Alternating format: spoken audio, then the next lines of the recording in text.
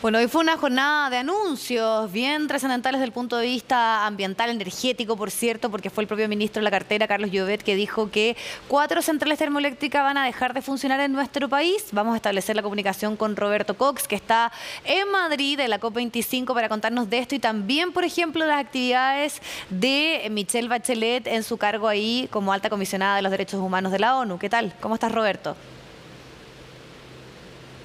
Hola Viviana, Karina, ¿cómo están? Ha sido muy agitada esta jornada en la COP25, de las más agitadas y agotadoras que se han vivido desde que comenzó este congreso acá en Madrid. Como bien mencionabas, hubo importantes anuncios del Ministerio de Energía, también del Ministerio de Medio Ambiente, pero vamos a empezar hablando de la intervención de la expresidenta Michelle Bachelet, que llegó hasta la COP25 como alta comisionada de las Naciones Unidas para los Derechos Humanos. Todo tras transcurría con tranquilidad. Ella tuvo una breve intervención en un panel de jóvenes activistas en, materia medioambiental y eh, a la salida fue abordada por dos chilenos que le recriminaron su actuar en materia de derechos humanos en torno a la relación, en torno a la situación que se vive hoy en Chile. Se le preguntó cuándo las Naciones Unidas se iban a pronunciar sobre los derechos humanos desde que ocurrió el estallido social en Chile y también uno de los manifestantes le preguntó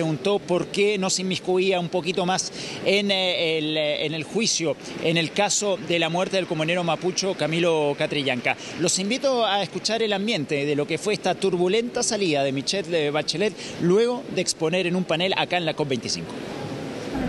¿Qué pasó con la vulneración de derechos de los niños en su gobierno? Camilo Señora Bachelet, nosotros las organizaciones sociales de Chile queremos juntarnos con usted. Señora Bachelet, señora, señora Bachelet, las organizaciones sociales chilenas queremos, estamos acá, queremos ¿Cómo se hace? Porque somos Naciones Unidas, no somos una ONG y esto está a punto de entregarse al gobierno de Chile y para que lo conozca todo el mundo. ¿Ah? Gracias. Thank you. Thank you guys. Thanks. Thank you.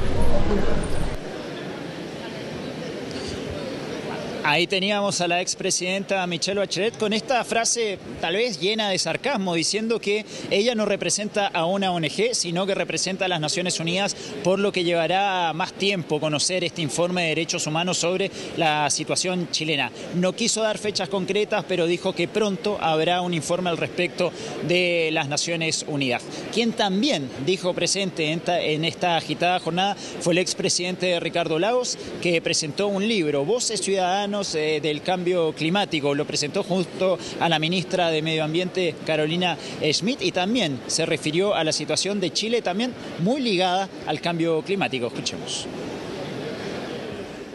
La ciudadanía lo que aspira es eh, poder dar sus opiniones conjuntamente con lo que son sus autoridades.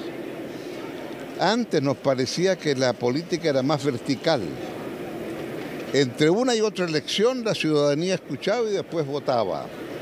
Ahora la ciudadanía entre elección y elección también quiere ser escuchada con las nuevas tecnologías. Y habrá entonces una forma distinta de entender y de restablecer confianzas cuando las instituciones se abren y aprenden a escuchar. Creo que lo que está ocurriendo en Chile nos obliga a buscar fórmulas para restablecer la confianza que en muchas instituciones han tendido a diluirse. buscar fórmulas para restablecer la confianza, decía el expresidente Ricardo Lagos. Y ya les decíamos que fue una jornada de anuncios acá en la COP25. El primer gran anuncio fue hecho por el ministro de Energía, Juan Carlos Jovet, quien señaló que de aquí al 2024 10 plantas de carbón cerrarán. Eh, se había dicho que en esta primera fase, de aquí al 2024, iban a ser 8 las plantas de generación de energía a carbón que iban a cerrar. Sin embargo, se suman dos más, Ventanas 1 y Ventanas 2 también cerrarán eh, de aquí al 2024 y quedará a saber qué va a pasar con las otras 18 plantas de carbón que aún existen en Chile. En Chile hay 28 en total, ya se anunció el cierre de estas 10 y todavía eh, queda ver cuáles serán las fechas para el cierre de las 18 restantes, pero sin duda un importante anuncio ha hecho el Ministerio de Energía para avanzar a la meta que tiene este ministerio para el año 2050 de carbón cero. Hubo críticas a, esta, a este anuncio del gobierno que conoceremos eh, ya en la edición central de Televisión Noticias. Hay varios activistas de Greenpeace dando vueltas acá en la COP25 que señalaron que eh, no quedaron satisfechos con el anuncio del ministro, del ministro de Energía, pero acá en el gobierno sin duda estaban muy contentos por este anuncio, este anuncio hecho hace muy, muy poquito acá en el pabellón de Chile. Los invito a escuchar las palabras del ministro de Energía. Nosotros tenemos en Chile 28 centrales de generación a carbón, o teníamos antes de la negociación del plan original. El total eran 28. De esas acordamos cerrar 8 en la primera etapa, que era entre 2019 y 2024.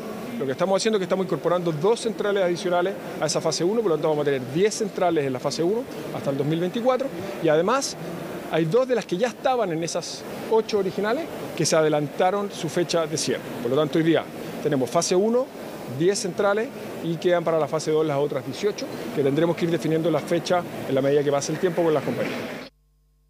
El impacto de eso es una reducción de 3 millones de toneladas de CO2, es decir, más o menos un equivalente de 20% de, de todos los vehículos que están en Chile.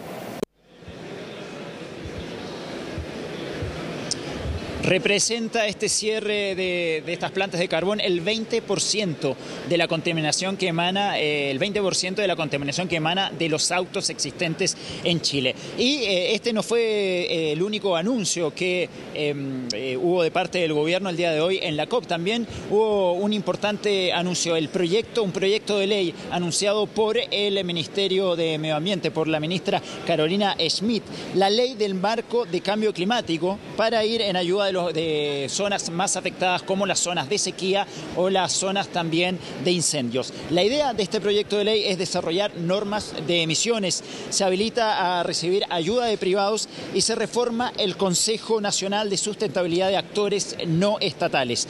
Em, con, estas, con este proyecto de ley que será despachado el 18 de diciembre, el gobierno pretende establecer un compromiso medioambiental concreto. Esas fueron las palabras eh, de la ministra hace tan solo minutos acá en la COP. Como pueden ver, yo me encuentro acá en el corazón eh, de este establecimiento donde se está llevando a cabo este importante congreso que cierra el viernes. Será una larga semana de extenuantes jornadas hasta altas horas de la madrugada donde los países se tendrán que poner de acuerdo con el gran objetivo de este congreso, reducir el calentamiento global. Viviana Karim. Sin duda, y se esperan ahí que se tomen decisiones concretas. Y por eso es llamativo lo que se anunció hoy, que finalmente se adelanta este plan de descarbonización con dos centrales más que van a estar en esta primera etapa. Muchísimas gracias, Robert.